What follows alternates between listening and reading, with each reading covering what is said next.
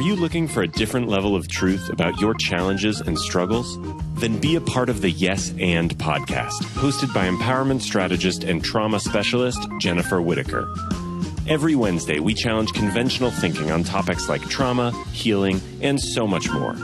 Learn life lessons and great nuggets of wisdom from guests who've moved through their pain and suffering to discover a new purpose in life. Now, here's your host, Jennifer Whitaker.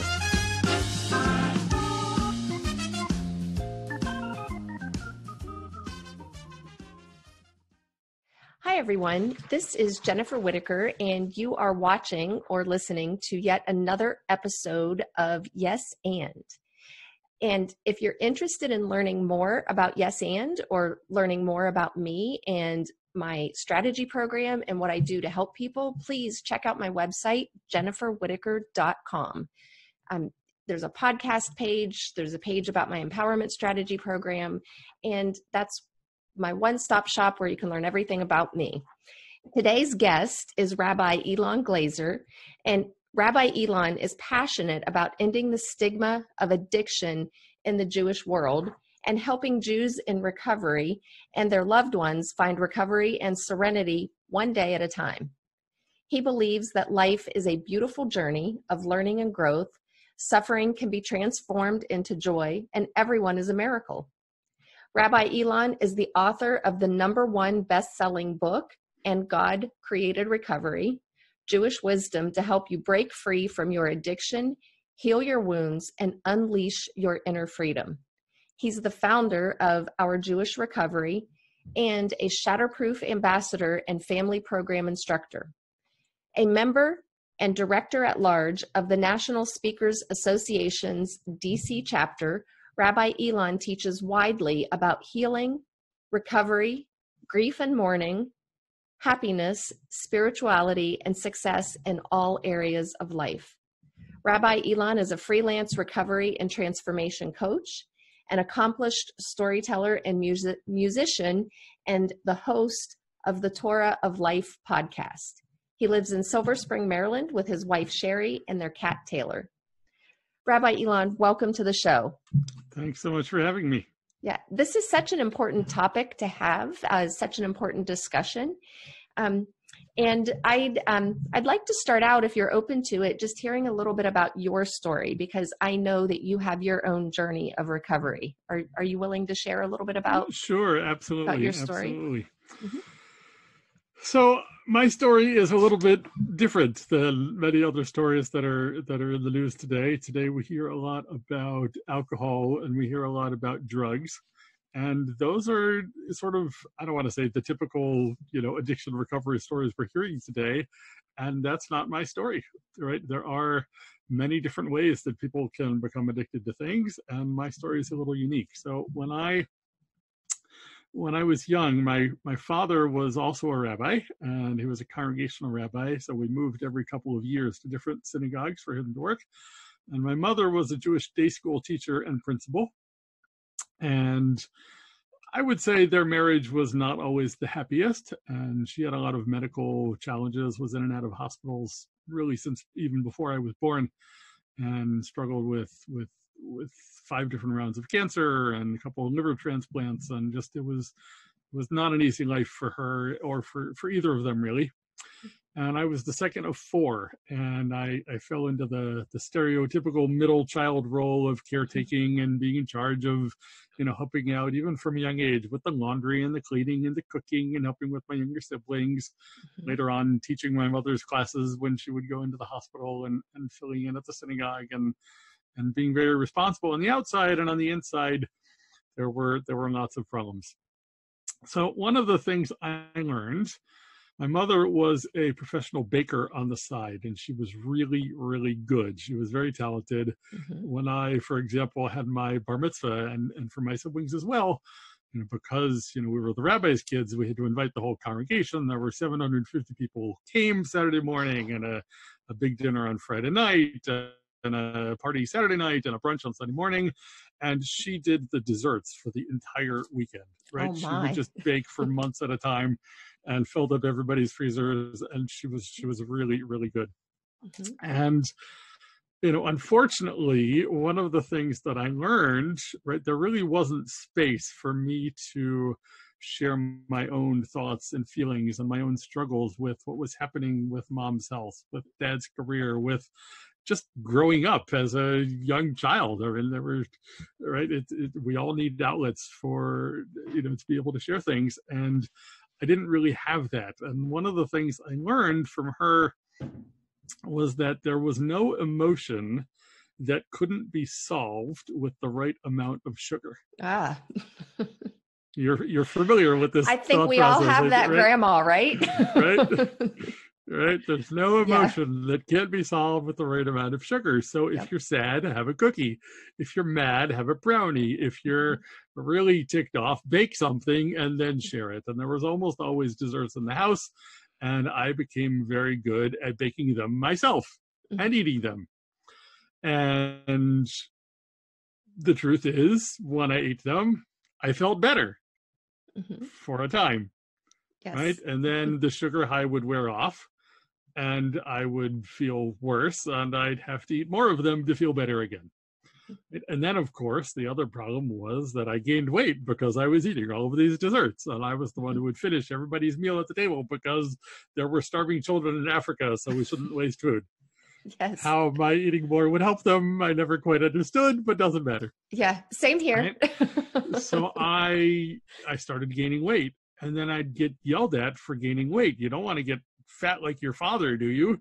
Well, of course, my only solution to feeling sad was to eat more so the cycle just compounded mm-hmm. right and for many many many years i mean this started probably when i was five and and continued for decades and then later on it, it came time for dating and romance and hormones and i didn't know anything about that my parents certainly never never taught me about that in a healthy way and their their their marriage was was not the happiest and i was aware of their struggles. And and you know young boys who are in classes with all the other boys who are talking about girls will want to talk about girls too but i was you know i was afraid you know nobody was ever going to like me why would why would they mm. right? I felt because i had so much because I got yelled at so often at home for doing things or not doing things, I felt like most of the problems at home were my fault. Right. And that wasn't true. I wasn't responsible for my mother's illness. I wasn't responsible for their anger at each other and at the communities and and their sadness around having to move. Like that wasn't anything that I, you know, I was along for the ride. I was a young kid. Of course, that wasn't my fault. But at the time, what I thought was that since I was yelled at so often and I lived in fear of being yelled at, I thought that if only I could possibly contort myself into the right place and person and be better, then they wouldn't have a reason to yell at me. Ergo, it was my fault and I needed to do better. Mm-hmm. Right? Yeah, and, and I think is, I think that really resonates with so many of us, whether it's eating or not, that we're addicted to that contorting ourselves into what we think other people want us to be. For sure. Oh, that uh, really resonates. Thank you. For sure. And mm-hmm. I was a total people pleaser, and I was looking for validation all the time, right? Because I was incredibly insecure about my own self, and I didn't really you know, I had so many struggles and I get yelled at so much that I never really developed a sense of just being okay in my own skin, as it were. In fact, right, one of the things I also did is I, you know, I, I, I, I I would pick at my skin and I would pull at my eyebrows and I would chew on my cheeks and and do damage to myself physically. Mm-hmm. And I really was not comfortable in my own skin. And and that too is an addiction. Yes and I've had to work on that one as well. And then again, when it came time to dating, what I learned from my mother is that my job in life was to find a nice Jewish woman, put her on a pedestal, and give her everything that she possibly wants because men are jerks. I, I'm not sure that that's just a, a, in the Jewish community. I think for sure not. I'm pretty for sure that's sure universal. right, and and and I, I that's what I yeah. thought, and so from a very young age, I can remember even when I was 12 and 13 and later on, looking for this woman to put on a pedestal, mm-hmm. right? As if I knew anything about what healthy romance could be. Again, I didn't learn that from my parents. Their marriage was not was not happy mm-hmm. much of the time, and I would you know someone would say something nice to me and i would light up and i'd i'd think oh are you the one that i'm supposed to put on a pedestal? Because you're a nice person. At the age of 12 right? I mean that's it's crazy yeah. looking back on it but mm-hmm. i didn't know any better and i and at the same time i was afraid of the actual encounters right? What do you say to someone? How do you go from i think you're cute to can we go out to will you marry like i didn't like right? right? and i certainly wasn't going to bring anyone home to the house because home wasn't safe either. Right. And i you know i wet the bed as a kid and i was overweight and i had asthma and like i was you know, I felt again awkward in my own skin. And, you know, it just, you know, when it came time to dating, I was watching my classmates have some attempts at that and they were having girlfriends and what was wrong with me mm-hmm. that I couldn't.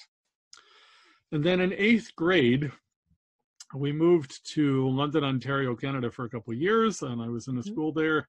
And I, I, still remember the day where I and the other guys from my class, we were we were out in the schoolyard. I don't know if it was recess or after school, and somebody went to go throw something out in the trash can. And as they looked into the trash can, I guess they glanced over and they saw that there was a pornographic magazine in the trash can. And they took it out and brought it over. And as young pubescent boys will do, everybody oohed and awed. And at some point, it went tossed back into the trash can, and everybody went home, mm-hmm. except I went back to the trash can and took it out and took the magazine home with me mm-hmm. because, well, a I enjoyed what I was seeing, mm-hmm. but also it was easier to think about. You know, it was easier to think that perhaps you know the women in the magazine somehow cared for me in some mm-hmm. fantasy way than to have to actually think about talking to women i knew and figuring out how to date and how to struggle with with that mm-hmm. right? and pornography became a teacher of mine as it were and and that continued for many years as well yeah and again and, you are not alone in that um, I've dated men who've learned about relationships through pornography, and oh dear God. right. Uh, as it turns out, the things you see in pornography are not entirely healthy or realistic. Or realistic. and, and, why doesn't everybody look like the women who look like you know in in those films and mm. and why doesn't you know every sexual encounter look like what happens in the in the movies right uh, right uh, of course it's all filmed and it's hollywood right. and it's not real but somehow i felt like at least i wasn't hurting anyone and at least right it, it it gave me some semblance of connection to my own physical self mm-hmm. right it wasn't healthy but it was something mm-hmm. right and and I used to, when I was in high school, I remember there was a bookstore across the street from the high school, and I stole some pornography, some magazines from the bookstore mm-hmm. because I was too embarrassed to walk up to the cash register and actually pay for them. Mm-hmm. And because I was the, you know, rabbi's kid and a you know, I was worried that if somebody would see me buying this, then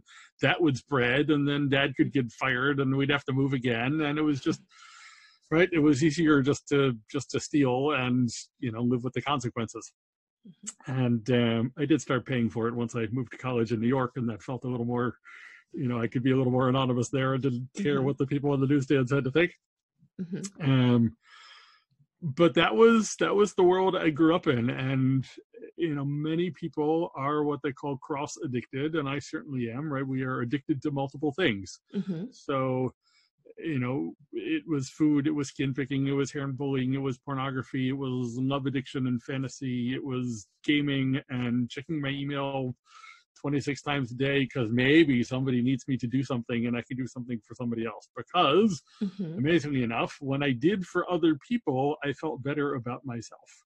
Yeah. I was alone with myself, I felt totally miserable and useless. Right. Right. Yeah. That helpy helperton, the sunny side of control, I call it. Indeed. Yeah. Indeed. So that was my high school and my upbringing. And I made it into college somehow and went to school in New York City and had some challenges. I had some some learning challenges that got me in trouble and I was kicked out of college twice for lying to people I would I would be the best student in class and I couldn't write papers and I just I struggled and I put so much pressure on myself and I procrastinated and I couldn't ask for help and I lied about it because in my house that I grew up in you couldn't actually speak the truth because you get yelled at for speaking the truth so it was just easier to lie to try and get out of it right kept as it turns out there are consequences for lying I had to learn yes and I'm glad that I did right? I took some time off in the middle. I had a bit of a uh, challenging time, but did finish college. I did start dating someone in college, and we were together for about four and a half years, and um, and we were engaged to. And she was the first person I was ever with, and I was like, oh my god, I finally found the person, right? Except I was a mess, right? I was a mm-hmm. total dysfunctional mess on the inside. On the outside, I was this like kind and considerate and compassionate, you know, mm-hmm. student. And everybody thought I was, you know, helping my mother all the time. And I was, you know, uh, becoming, I was planning to become a rabbi. And like on the outside, everything was great, right? Nobody would know. And on the inside, there was there was a lot to struggle with. So mm-hmm uh, my fiance called it off, and um, and you know I'm, I'm, I'm glad she did because I I certainly had no business you know getting married at that time, and um, you know I'm I'm grateful to her. You know, fast forwarding a little bit, I finished college. I you know what really started me on this healing journey was when I was 20. I was in college and I got an email advertising a cross country Jewish environmental bike ride from Seattle to Washington, D.C. Mm-hmm. And I was not a bike rider. I didn't know anything about the outdoors. I'd probably never slept in a tent. And I had no idea what I was getting myself into. but I decided to do it. And it totally changed my life. And I found a deeper connection to God in the outdoors than I do in buildings. Mm-hmm. Right? And I found a community of people who could handle me and where I could just be myself and where I felt cherished and valued. Mm-hmm. And that led after college to becoming an environmental educator at a number of Jewish retreat centers. And I and I loved it. I really thrived in that environment. Mm-hmm. And and being connected to the outdoors and a wonderful community of people. And that lasted for a couple of years. And I had a few relationships, but I was still eating and you know, using a lot of pornography and doing all these things. And fast forward again, I I decided after I after I finished my time there as an environmental educator, I, I became my mother's caregiver for two years mm-hmm. and took care of her. I helped her through her second liver transplant. And that was not easy by any stretch of the imagination. Mm-hmm and I, I, I learned more about hospitals and healing and healthcare than I ever wanted to know.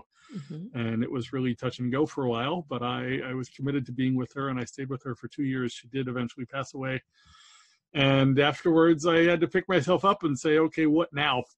Mm-hmm. And the answer was rabbinical school, and I, I did go to rabbinical school, and and and when I was in rabbinical school I was meeting great people and I was taking amazing classes and I was still acting out in all of these ways. And when I, in, in, in 2010, the school I was in required each of us to do a unit of what's called clinical pastoral education in a hospital or healthcare setting. Mm-hmm. And so I did this unit. I was I was living in New Jersey, working as a congregational rabbi, still in school, but already working.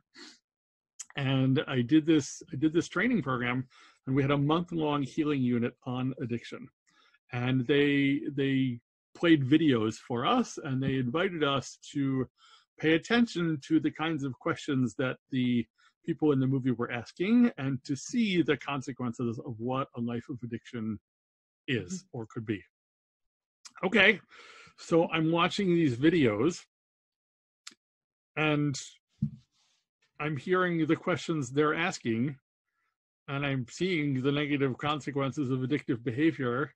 Mm-hmm. And I'm thinking to myself, hang on a minute. Some of the questions they're asking are the same kind of questions that I ask. And what does that mean? Mm-hmm. And it was the first time that I understood that I myself could possibly be an addict. Mm-hmm. And I didn't know anything about addiction. I mean, you know, my mother taught me that I was not allowed to drink alcohol and drugs were not allowed in our house. Mm-hmm. And that's all I knew. Right. And I'm sure from her perspective, that was probably all she knew too. Right. right. But I had no idea that all of these other issues could be a thing. So I, I was dating someone at the time and and she had some some wisdom around recovery issues and I I, I came like I, all I could sort of hold at that point was okay, I'm addicted to food. Mm-hmm. I'm addicted to sugar. Clearly, I'm eating all the time, and that's not good. and I started. I saw a functional medicine doctor who who did some blood work and testing and and told me that I am addicted that I was addicted and I'm also allergic to gluten and flour and dairy and sugar and I had to go off all of those things which mm-hmm. if you're addicted to all of those things is not a fun process but I did right and I started exercising a little bit and I started going to some recovery meetings here and there but it didn't quite really take mm-hmm. fast forward a little bit finished rabbinical school got married we moved together to Memphis to co-rabbi at a synagogue and things didn't go so well there. That's when things really shifted, mm-hmm. and we didn't work well together. And uh, and the synagogue was not an easy place to work when when we started, and and I, uh, you know, I was just getting worse by the day, and the marriage was not was not what I thought because what I thought was I found a nice Jewish woman, a rabbi no less, mm-hmm. and I thought if I just put her on a pedestal, give her everything she wants, like I'll be happy.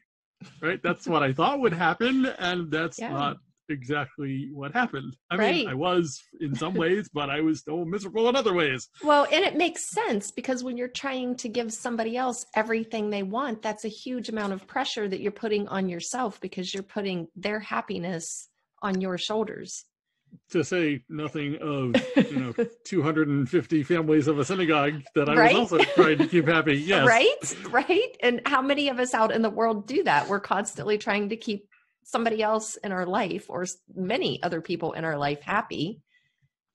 And it is it's it's exhausting. It, it sucks it, the it, life out of us. it is absolutely exhausting. Yes. And, and and to be fair, like I helped create that dynamic, right? I'm not blaming her for that. Like I helped I came into the relationship doing that. Yes. And I just thought that that was what you were supposed to do. And it turns out that that was not the mm-hmm. healthiest advice, as right. I learned. So I started going to a therapist.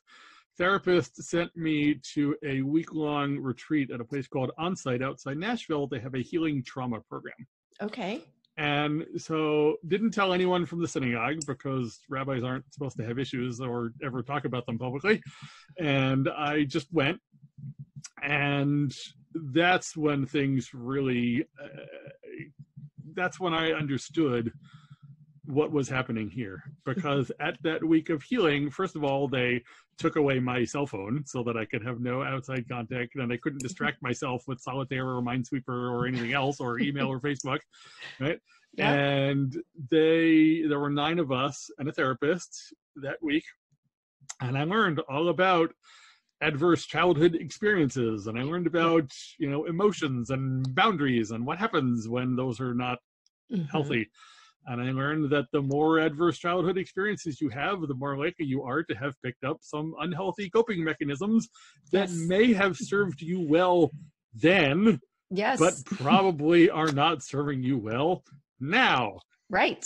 and and I you know, my mind was totally blown open because I went there thinking, okay, I got this issue with food, and I left there thinking, oh my God, it's not just food, it's all of it. Yeah.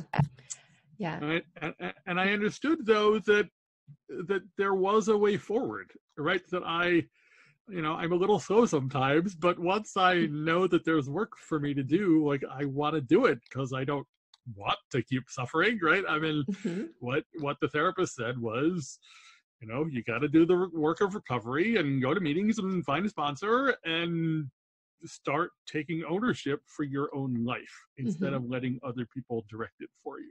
Yes. And that was incredibly valuable advice. And I did, I, I, I went home and I found a few weeks later i was at the memphis public library and they have a used bookstore within the within the library there mm-hmm. and i was looking at the addiction section and there was a book called facing love addiction by pia mellody mm-hmm. that basically fell off the shelf into my hands. It, it just sort of had to pick me, you need to read me. Mm-hmm. And I took it home and I read the whole thing in two days. And I did not understand how she was inside my head without ever having met me. Yeah. Right. And the universal experience. indeed. Yes. so I, I shortly thereafter, I found a sponsor. I started doing a lot of phone meetings. I wouldn't go to in person meetings for a good while because I was worried that somebody would see me mm-hmm. and I'd mm-hmm. be outed in the community and lose my job. And the marriage was not well and, and, and ended. My, my ex decided to leave town and she did, and I stayed there on my own. Mm-hmm. I did eventually start going to meetings and I was seen and I just said, okay, God, if you want this to work, then the person who just saw me needs to keep their mouth shut. And as far as I know, they did.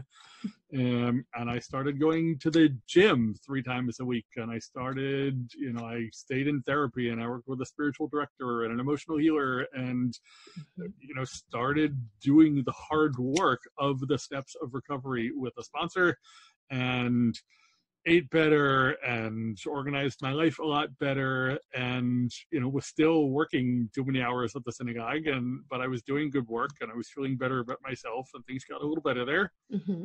and amazingly enough as i got better the synagogue did too mm-hmm. um, right yeah. and um, you know really said i'm gonna i'm gonna own this life that is mine mm-hmm. because you know some of the things i learned as a kid don't serve me well anymore and i can outgrow them and i can make better decisions for me now as yeah. a responsible adult yes and and and i you know thank god it's been you know this december december 19th will be five years since that mm-hmm. day in the public library and i consider that day one of my sobriety mm-hmm. where it all really started to come together mm-hmm. and i don't use pornography anymore i don't eat gluten and dairy and sugar and i still go to the gym and I go to recovery meetings and I've worked the steps and I'll probably do that again soon. Mm-hmm. And right, I'm doing the work of recovery and it has been such an incredible gift to find other people who are struggling with the same things mm-hmm. who can say we know where you are we've been there we'll be there with you and you are valid and cherished and valued and we don't care about all the terrible things you think you've done like we care that you heal. And yes. that's been really amazing for me to have the gift of recovery. That's what that's what it has given me. Yeah. And and i love your story and how you're able to in hindsight like really pick it apart and see um, because i am a trauma specialist and mm-hmm. i help people through their emotional healing um, I, I, call myself an empowerment strategist um, and that and that's what i do is help empower people by learning helping them learn to um, de- to manage their emotions in a very different way and to accept their emotions when they come up instead of trying to stuff them or push them aside or you know um, drown them in sugar or behaviors. And behavior addictions come up a lot in the work i do with my clients. And I loved in your story too. Um, and, and I've shared this about myself in the past. Um, you talk about how you were, you know, really kind and considerate, and you know, from the outside, that's how people viewed me was kind and considerate. And I've been able to link my, um, not that I'm not kind and considerate now, I'm not in the addictive side of it anymore. Sure. I have sure. the ability to say no when something doesn't feel right to me, um, or when I, you know, when I'm like, no, I'm not going to do this. Um, in the past, you know, like my kindness and consideration came from fear of getting yelled at or fear of you know not pleasing somebody so i would come across as being oh i'm being kind i'm being considerate and here i was still stuck in that childhood pattern wasn't able to really step up and be an adult in certain situations in life even situations as simple as somebody asking me where would you like to go for lunch um, i had a fear of choosing where somebody else would eat because mm. as a kid if i or anybody in our family chose a restaurant and my dad's food wasn't good, then it was our fault. mm. And we would hear about it for the whole ride home or sometimes, sure. you know, spilling over into the next day. And sure. so you just learn that, oh my goodness. So it came across as, oh, let me turn this around. Well, I don't know. Where would you like to eat? Or I'm not really hungry for anything in particular. Um, what sounds good to you? And, you know, little things like that. Um, it so it would come across as that oh let me be considerate of what do you want so i don't have to make that decision. Right. And that got me in trouble a few times in my adulthood. And when i say in trouble into situations that didn't turn out well not that i was getting yelled at sure. but sure. in situations that didn't turn out well. And um, one of my teachers i'm i'm finishing a year long course right now with dr gabor mate who is a, an addictions expert out of canada and you know he talks about relationships you know you you are going to attract people into your life who um I, I guess energetically might be the word to use are where you are you know like mm-hmm. their level of trauma is going to be an absolute mirror of your level of trauma. So that makes sense why your relationships and mine over the years have not lasted. And, you know, eventually you do meet somebody who's at that same level of healing that you are and things can move forward in a positive way well it's it, it is amazing to see that and i mm-hmm. have done a lot of work around codependency and love addiction and relationships and i am yeah you know I, I did move two years ago i decided to leave the synagogue and i moved to silver spring maryland and i had started dating someone long distance and we we got married two years ago and it's yeah. much happier and healthier than i could ever have imagined yeah congratulations you know not without struggles yeah. you know yeah. marriage isn't marriage isn't perfect but um right you know it's it's it's nice to uh it's really nice when it works well to have somebody connect with you that has a similar level of healthy coping mechanisms rather than our childhood coping mechanisms and defense right. mechanisms you know somebody who can handle things in from their adult self and not their child self and um, and I understand, and to also Sorry. be someone, and to also be someone who can handle some things as an adult, yes, instead of as a child. Exactly, exactly. Yeah, and I understand that you're you're building a movement to help people, um, and it, it's my understanding that you're you're targeting the Jewish community. So, can you tell us a little bit about the movement that you're building? Sure. So when I was going through recovery myself, when I was still in Memphis, I was looking around to see, well, what what does the Jewish world have to say about this? Clearly, I can't be the only member of the Jewish community in the history of the last six thousand years who's ever struggled with this, right? I mean, I can't be that crazy. And and what I found was not a whole lot, actually. Mm-hmm. Right? There's a wonderful Jewish Recovery Center in Los Angeles that does inpatient and outpatient treatment, treatment and they have an educators program that I went to. Mm-hmm. And I, I was there for a week and I learned great, great things that they that they're doing there. But if you're not in need of in-person treatment in LA, they're not helpful, right? They're not a national movement, mm-hmm. right? There was a national movement that was started in the 80s that has just not really ever taken off, and now they're very small and they do a couple programs in New York and one retreat a year, and that's it, mm-hmm. right? But I, you know, I, I I started teaching about this when I would go to retreats, and people would come up to me and they say, "Oh my God, we've never heard anybody talking about this, and this is our story, and we need more of this." Yes. Right and you know that struck a chord in me and when i when i moved to silver spring a couple years ago i joined the national speakers association here and my speaker friends said well if you want to be a speaker and a coach and a thought leader you have to write a book. And i said well what book do i write? And they said well, what do you want to solve and what do you want to work on and what are we known for? And what came to me was this, mm-hmm. right? This is this is an area where as a coach, as a rabbi, as someone who's in recovery myself, right? There's there's clearly a need for the Jewish world, for all faith traditions, of course, to mm-hmm. to address this. And I think I have a role within the Jewish world of of making this happen. Mm-hmm. So I wrote I wrote a book and God created recovery available on Amazon, mm-hmm. and uh, it's gotten some nice reviews, and people who've read it are really appreciating it. And but uh, you know i'm not stopping there because you know a book is one thing there are a few other jewish recovery books not many mm-hmm. but um you know why is there no jewish recovery facebook group and why is there no jewish recovery podcast and why aren't there regular Jewish recovery retreats in every major Jewish city in the country once or twice a year?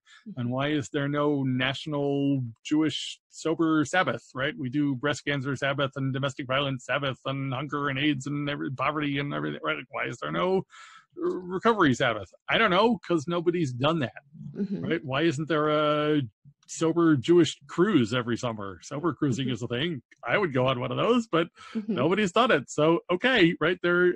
I don't know why. It's just mm-hmm. nobody's ever said, I'm going to do this. Mm-hmm. And, you know, to be fair, there are people working and doing good work on uh, on the issues of Judaism and recovery, mm-hmm. but the national movement hasn't really taken shape yet. Okay. And some of the people doing good work are not talking to each other and they're not networking with each other. And that's a shame, right? Mm-hmm.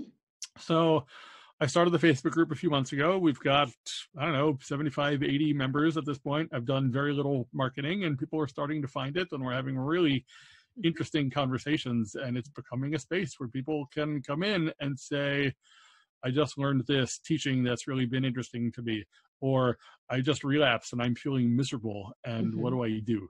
Yeah. right and people have been responding and supporting each other and sharing their own experience and strength and hope and it's really incredible to see mm-hmm. and so that's going to keep growing and i am starting to do some marketing for all this mm-hmm. um, and putting together a coaching program and trainings for rabbis and jewish educators and teen professionals and summer camps mm-hmm. because mm-hmm. we need everybody to be talking about this and we mm-hmm. need the the young students to know that this is you know these are the realities today because you know smoking and vaping and alcohol and drugs are so easy to access today. Yes. Right they're like our high schools are saturated and yeah I, you know am i going to tell people that they should never ever drink anything any drop of alcohol no i'm not going to say that but i want people to know that there are real consequences mm-hmm. i want people to know that it's up to them to decide what choices they want to make for themselves and that they can mm-hmm. choose healthier healthier things Mm-hmm. So that's what I've been working on. It's uh, it's been a little daunting to go from congregational rabbi, where I had an office and a structure and a, and I, I knew mm-hmm. my role, and now it's you know building this movement mm-hmm. is a mm-hmm. whole different role, and I'm I'm learning along the way, and it's been really a gift, mm-hmm. and feels feels like the kind of rabbi that I want to be, mm-hmm. and it's been really lovely to yeah. you know take my rabbi side and my coaching side and my recovery side and just put them all together and say this is who i am and the work that i'm doing mm-hmm. and thank god the work is is growing and it's it's becoming what i want it to be and that's uh yeah that's great and i'm certainly not going to stop anytime soon because there's a lot of work to do. Right. Yeah and thank you so much for sharing all of that. Um, you know again as a trauma specialist this really resonates with me because when it comes to addictive behaviors whether we're addicted to a behavior a substance you know sugar flour gluten alcohol um, some illegal substance uh, or whether it's a behavior you know like we're always the nice person or always mm-hmm. the helpy helperton or always the one who like goes into the rage or addicted to exercise whatever it is addicted to pornography um, it's so important if we're going to come through this to have help and to feel safe and attuned with the person that we're working with and you know by really bringing this out into a national movement, um, you know, it, it kind of opens up this whole area for the Jewish community to find that safety and attunement with somebody where they might not necessarily re- have that relatability to somebody in a traditional treatment facility um, or somebody who who doesn't, you know, like me. I, I'll admit I don't fully understand the Jewish religion. I don't fully understand the Christian religion. I, I, don't identify as religious at all. Sure.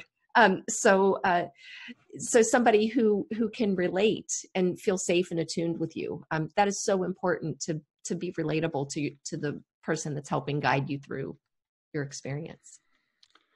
Well, it's been uh, it's been a blessing so far to do this work, and mm-hmm. it's you know I'm I'm trying to build the resources that I wish had been there when I was going through this five years ago, mm-hmm. and you know if if it's not there, then perhaps it's my calling to to take this on, and I'm, mm-hmm. I'm, I'm you know I'm blessed to do the work, and uh, it's been an interesting journey so far, and I'm sure that will continue. Yeah, absolutely, and I believe it's our calling to you know put out into the world what we know and right. that's exactly what you're doing. Right. Yeah. So tell us um, a little bit about your book um, and god created recovery. Um, does that like have you already talked about it with your story or is there something in there that we've missed so far? So what i do in the book is i talk is i do share my story.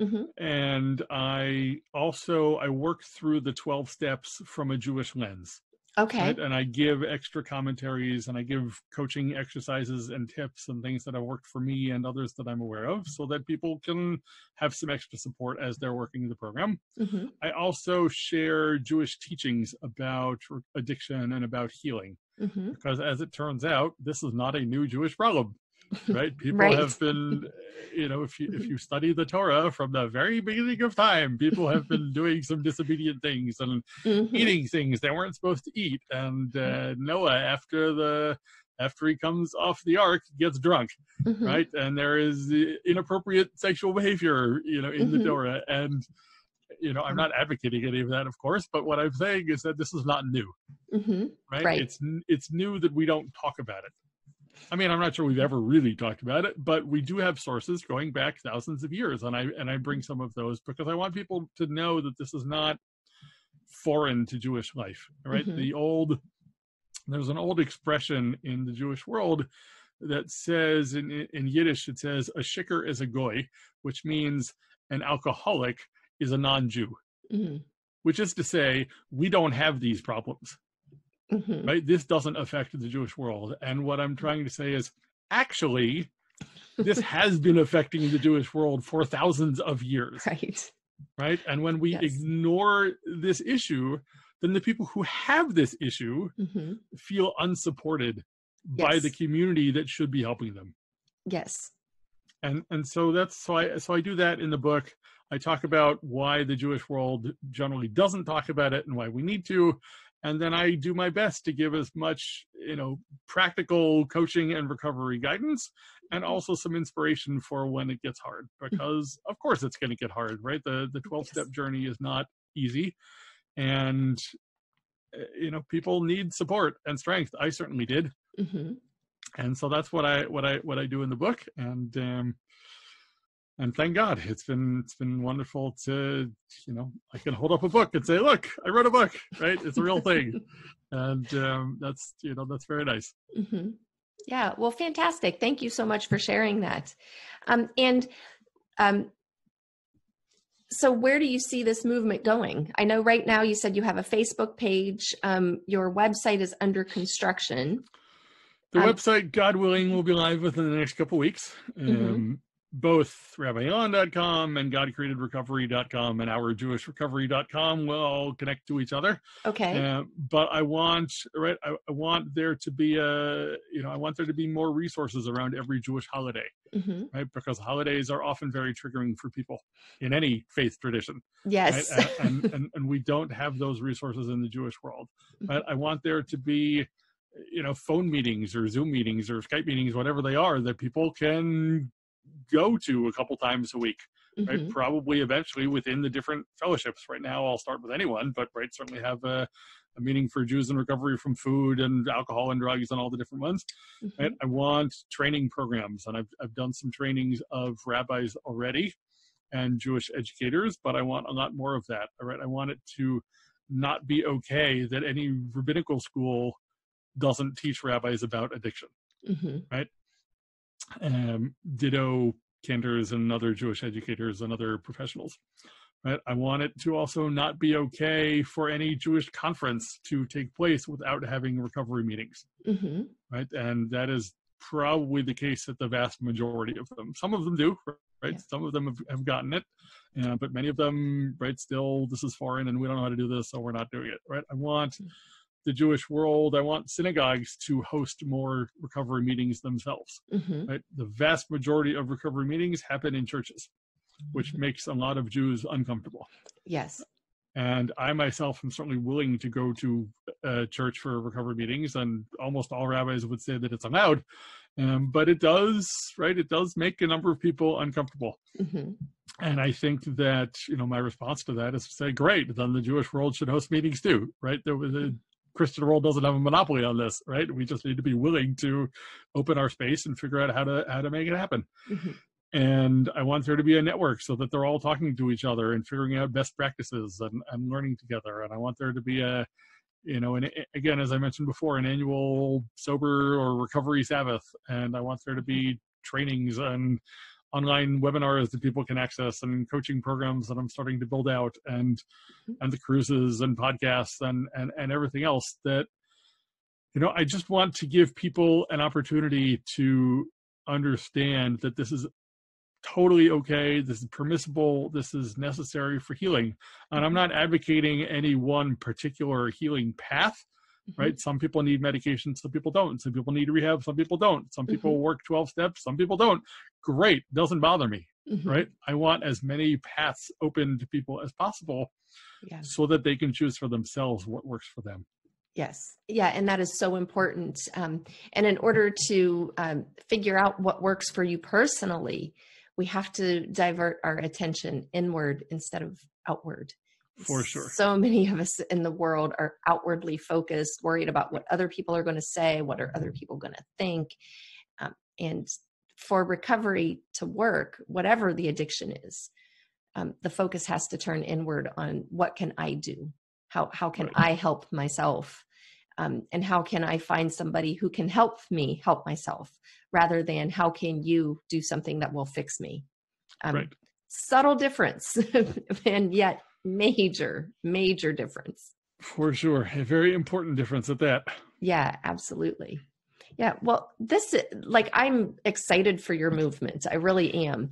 And i see um you know and i see as a trauma specialist all the trauma like the early childhood trauma that goes into the behavior and the addiction.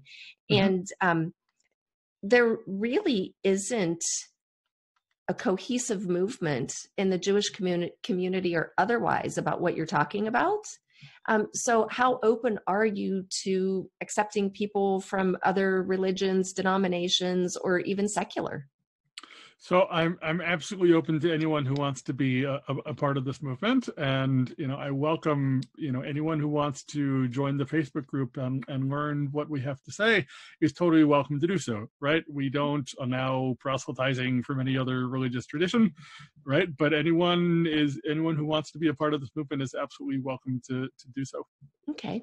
And I'm happy to speak about this. You know, I, I do speak about this from a from a secular perspective as well, right? I'm happy to bring this wisdom to churches, to mosques, to community centers, anywhere, anywhere that will have me. I'm happy to to be connected with anyone. There's a lot of people doing good work out there. I'm happy to, you know, connect with others who are doing so. And we just, you know, we need as many resources as we can possibly get these days. Mm-hmm. And uh, I'm I'm happy to bring, you know, what I've what I've created anywhere. So absolutely. Yeah, absolutely. Well, thank you so much. And um, and we still have a few minutes left. I'm wondering if you can give um, any action steps that somebody listening, if they if they can relate and they recognize themselves in anything that they've heard today. Um, are there any steps that somebody can start to take immediately to real, you know, to start to work on themselves? Uh, sure. and the interim between discovering that, oh my gosh, I might have this issue and actually getting into a program that can be helpful. Right. So the best thing I would say is start reading about it. Start listening to recovery podcasts. Start connecting with other people in recovery. And you know, maybe it's a conversation with your clergy person if you have one.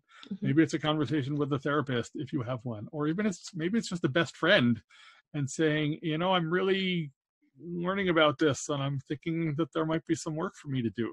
Mm-hmm. Right. And and just you know, to be able to speak out loud the things that we keep hidden mm-hmm. is a real challenge, but mm-hmm. also a real blessing. Yes.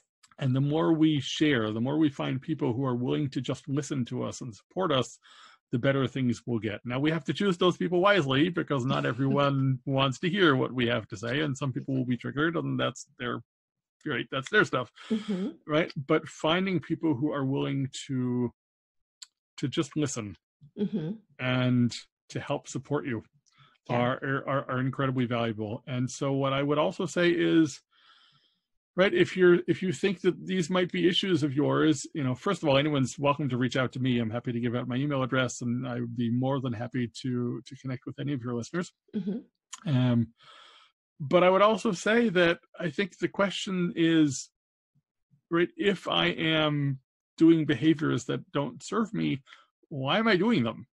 Like what's yeah. actually underlying the like why is this a habit in my life Mm-hmm. Right. And there are ways to break habits. It's not easy, but there are ways to do so. And I share some of those in my book.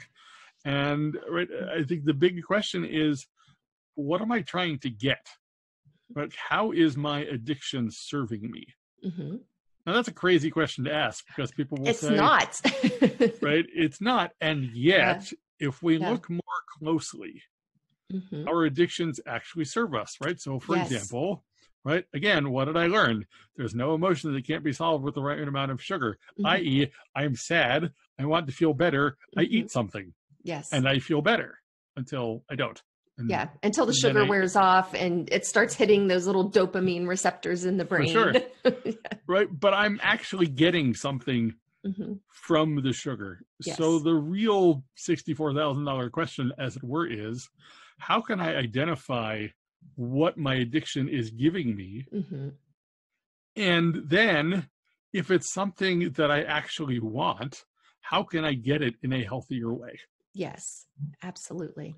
And for that, right, start going to the gym, start exercising, start meditating or praying, go for a walk, spend time in nature, mm-hmm. find a group of friends, go to recovery meetings, find a sponsor, read my book, right, find mm-hmm. a coach, right, all of that. Yeah.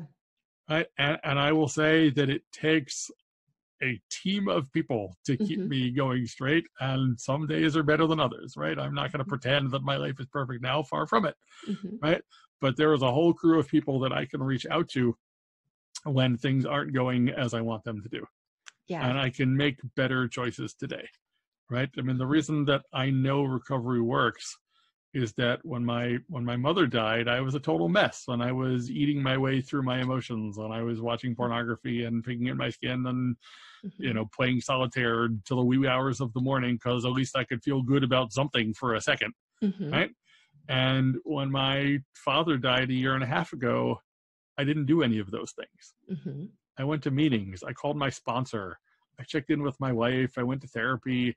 I went to the gym. I listened to a lot of music, and I was able to just sit and be and process my emotions in a much healthier way. Mm-hmm. That's how I know this works. Yes, yeah, and you are so spot on about uh, you know about everything you've said. Um, and we turn to our addictions. Um, most people will discover, if they haven't already, that we turn to our addictive behaviors or substances or whatever the addiction is, because it's too difficult to be present with ourselves mm-hmm. emo- with whatever emotion is coming up in the present moment so yep. we have to avoid and i i'm saying all the time on my podcast with my clients um, you have to understand go within and understand your own motivations so there's nothing wrong with taking a nice hot essential oil epsom salt baking soda bath before you go to bed know why you're doing it. Are you doing it because you're so frustrated and that's your avoidance of your frustration? Or are you doing it because it really is a resource that helps you sleep better? Are you going out to exercise because it's avoidance of the discomfort that you feel and you're addicted to that runner's high or, you know, that workout high or the zone that you get into whenever you're exercising? Are you are you doing it because you're avoiding and addicted to that or are you doing it because it truly is you know mood management emotional management something that you get pleasure from? And only you can answer that. I can't say from the outside looking in what your motivations are. Right. So it is so important and I, I think it was socrates who said the unexamined life isn't worth living. And yep. and i think what he meant from that you know again being a trauma specialist if we don't examine our lives this hidden control panel controls our life. Those things those that avoidance um, it controls our life because you know like you always in the pursuit of sugar to avoid what you were really feeling um, or you know like me i would i had this tendency to hijack conversations. Like if you call somebody and you have a problem or you need to talk about something or you just need to vent it's a way to hijack a conversation and hold somebody hostage. So somebody right. will listen to you. Because i had this perception my whole life that nobody listens to me. Nobody cares. Nobody nobody gives a crap about what i have to say. And it was really addictive to find a way to get into a conversation um, and I, I have to check myself and i'm constantly asking myself now even when i'm talking to friends why am i talking to my friend is this because i really have something i want to share or is it because i need some sort of external validation um, right. in order to feel better about myself and every now and then i still catch myself going back into that needy little girl who needs that validation and then i have to interrupt myself and I'm like, "Oh, Jen, just shut up. just shut up." So it is. It's a it's a lifelong work. We never fully ever get there. yeah, and uh, often people will ask me and they'll they'll say, "Well, have you recovered now?" And I'm like, "Well, I've done a lot of good work. I'm a lot better than I am and yeah. you don't get recovered, you get better." Exactly exactly yeah. Yeah and even my um even my instructor in my class dr mate um you know he talks about he's he's in his mid 70s now and he even talks about how on a regular basis you know he's constantly working on himself and you know he's like you know even 2 years ago he was talking about this conflict he had with his wife and how that was a childhood trauma that was feeding into his behavior in in that moment and you know and obviously they got through it and and at the same time recognizing it and if we don't look at ourselves we'll never see it we'll never recognize it and that will control us. For sure. Yeah. So I, I, think the most important thing i would i would tell people is that we can't do this work on our own. Right right? We are hardwired for community. We need community and we need other people to be on this journey with us. It's too hard. You can't you can't do this work on your own. Right. And the gift of recovery is finding other people that will that will help us through. There's yes. a there's a wonderful story from the talmud which is code of jewish law from several thousand years ago about someone eh, eh, a, a student of a teacher is ill in a bed mm-hmm. right? And the teacher goes in to see the student, and the teacher says, "But do you want to be sick? Do you value your suffering?" Mm-hmm. Right? And the student says, "Nope, I value neither the suffering nor the reward. I don't want to be sick." And the teacher says, "Give me your hand," mm-hmm. and he mm-hmm. picks him up and he heals him. How he does that, the story doesn't say, but he mm-hmm. heals his student. Mm-hmm. Right? Later on, the teacher himself becomes sick mm-hmm. and he is lying in a bed and somebody else goes to visit him mm-hmm. and the somebody else asks him the same question do you value your suffering and he said no i don't value the suffering nor its reward i want to be better and he says give me your hand and he picks him up and he heals him mm-hmm. so the rabbis ask why is it that if the teacher could heal the student why did he need somebody else to heal him when he was sick? Mm-hmm. Couldn't he have healed himself? And the rabbis answer a prisoner cannot free themselves from prison, but depend on other people to release them from their shackles. Yes. And it's totally true. We uh, need other people. And and yeah. and you know, my wish for all of us is that we become the people who help free other people and ourselves yes. from our shackles. Yes. Right? And I if we're not willing to accept help from other people in our own struggles, there's no way we can be effective in giving it. For sure there's there's just no way. So uh, there, there's a, a lesson in that as well. Absolutely. yeah, Absolutely. I love that story. Thank you for sharing. Um, so, do you mind sharing your email or the best way um, that you would prefer for listeners to reach out to you? Um, sure. No, I'm happy to do that. Um, right now, the best way to get a hold of me, Rabbi Ilan at TorahofLife.com. Torah of Life is the name of my podcast. So, I, I use that email for a number of things, and people are welcome to send me an email. Okay. People can also find me on Facebook Ilan Glazer. There's there's only two Ilan Glazers in the world. The other one's in South Africa. I'm not that one.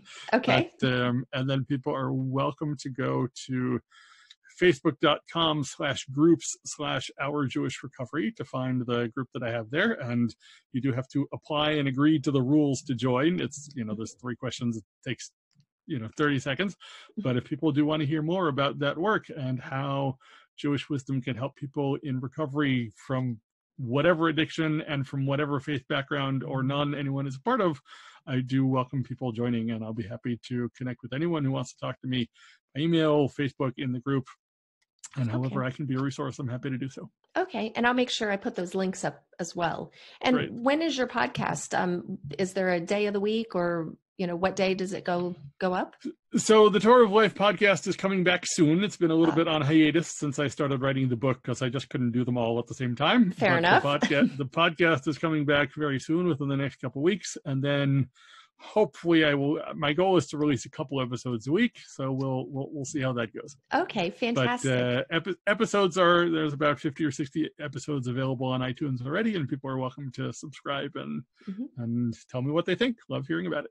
Okay, fantastic. Well, Rabbi Ilan, um, before we sign off, do you have any final tips or bits of wisdom to leave with our listeners today?